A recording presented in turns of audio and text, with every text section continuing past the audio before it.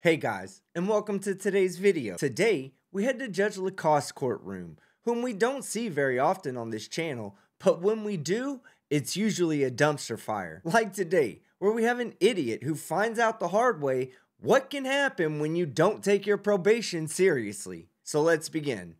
All right, People versus Anthony Capel, 227189FY.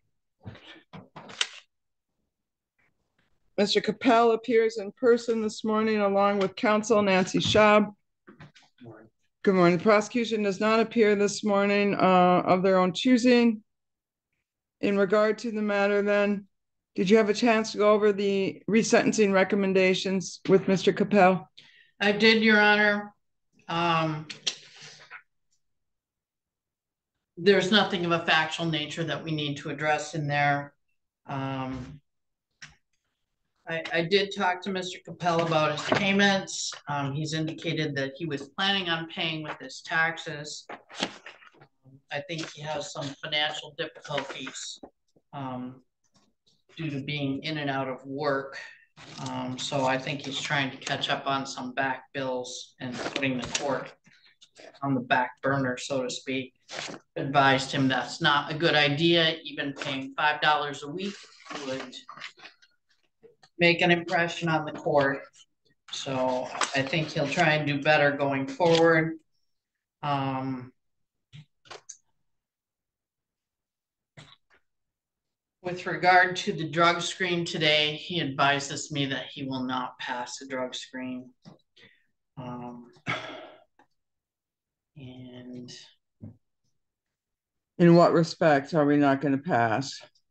Said he was going to be positive for marijuana and meth. Hey, he needed the marijuana to help him come down from the meth. And I love how the judge just lets out a sigh of disappointment. and how his lawyer sounds like she'd rather be eating broken glass than allocuting for this jackass anymore. Well, I think that's a real good reason, Mr. Capel, to start looking at why you can't make any probation cost payments. You're spending it all on meth. Anyway, go ahead, Ms. Schaub. I'm sorry. Go ahead. Um, Your Honor, he he was honest with me that he would not pass. Um, I discussed with him where he got it, and he apparently said it was a gift. A gift? From whom? Methaclaus? Or was it one of those gift exchanges where you gifted him some money and he gifted you some drugs? Uh, but obviously, given his circumstances, that was not a wise choice. But he does have a full time job. If he goes to jail for 15 days, I don't know if that job will be available when he gets out of jail. Um, so I, I don't know what the, the court wants to do with, with Mr. Capel. I don't know how um, I had notes prior to his pleading to this that he had been testing clean and doing what he was supposed to do, but apparently he's gotten a little bit off track. I'm hoping the court will give him one more break and not put him in jail today. Thank you. Mr. Capel, anything you'd like to add? Yeah, um, I work at hometown right now. We're reduced to winter hours. We're reduced hours right now because it's the slow season. So I'm only getting like 32 ish a week. So it's like 500 bucks a paycheck, roughly give or take after taxes. Um, but I should have enough today for, if not half, majority of the court costs that I owe um, because of four seasons. I clocked enough hours, I think.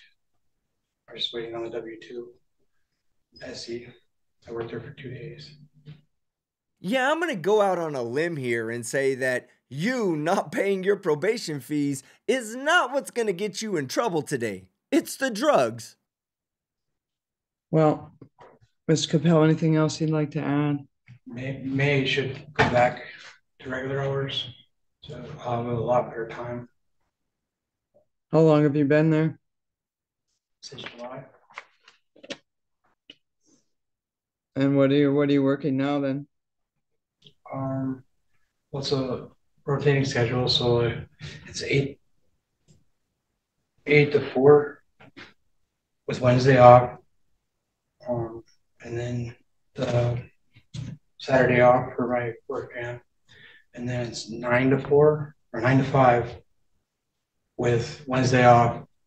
And then I work that Saturday eight to one. That's if I don't get sent home early. Because we have a high school kid that comes in about four, three thirty. Usually let him get a couple hours for the end of the day there.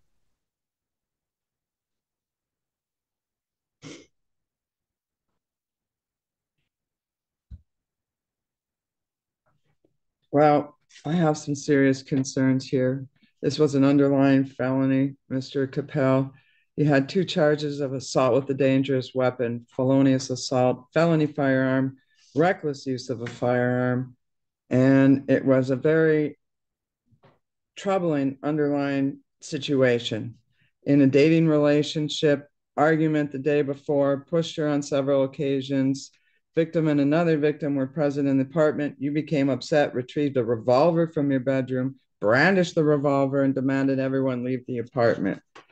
That was pled down by the prosecutor's office. You ended up pleading on a domestic violence, an assault and battery, and a reckless use of a firearm, all in misdemeanor court. That you were placed on probation for in January of 2023.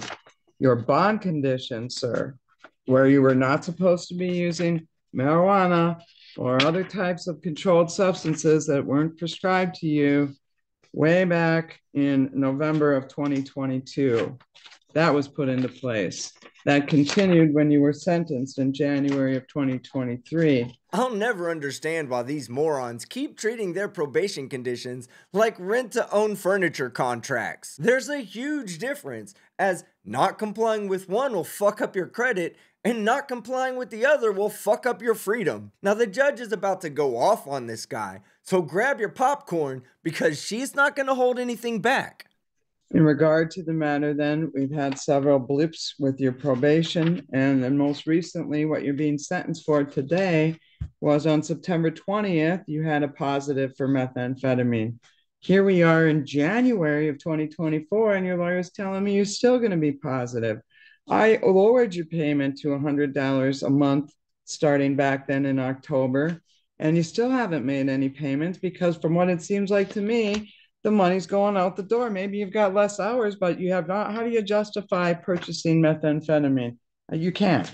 And maybe it was a gift, maybe it wasn't, but now we got September and January on top of everything else going on here. It sounds to me from the behavior that was demonstrated at the underlying charge you had probably some meth going on that day and an inability to control your anger due to the ingestion of meth.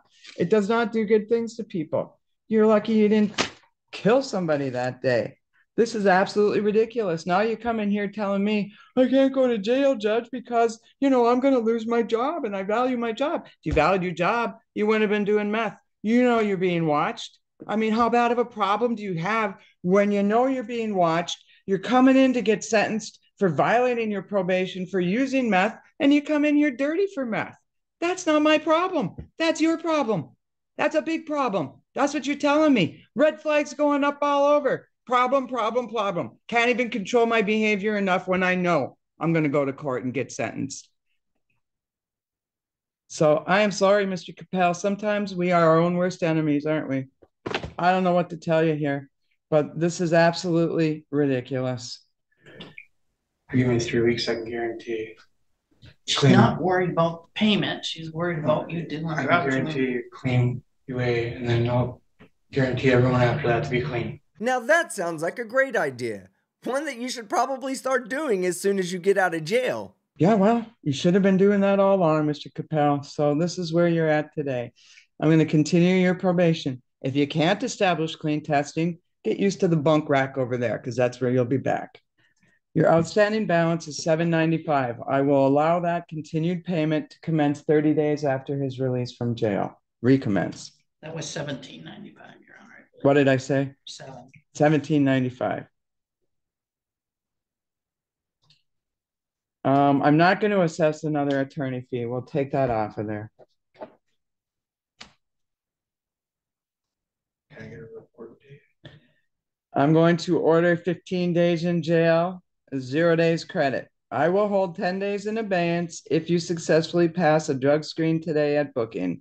If you don't, you will serve the 15 days commencing immediately. Well, looks like he's serving 15 days, commencing immediately. You are still required to attend the divert counseling program. You can continue attending that. So, Mr. Capel, if you can't pass the screen today, you're going to be sitting your 15 days. And Can't get a then check-in date, so. No, it's right now. when you, when Right you now. get out of jail, you check in with your probation officer as soon as possible. Right now, Mr. Capel, you made this bed yourself. Think about it. You got 15 nights to think Something you about it. sign, And then he'll take you down to probation. He is going to jail, right? Yes, he's going to jail either for five days or 15, depending on him.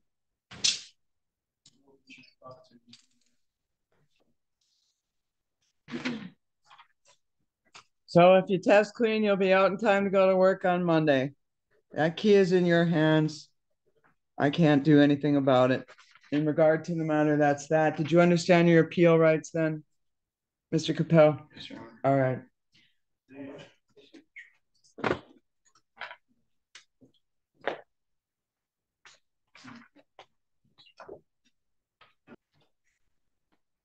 Bye, have a great time.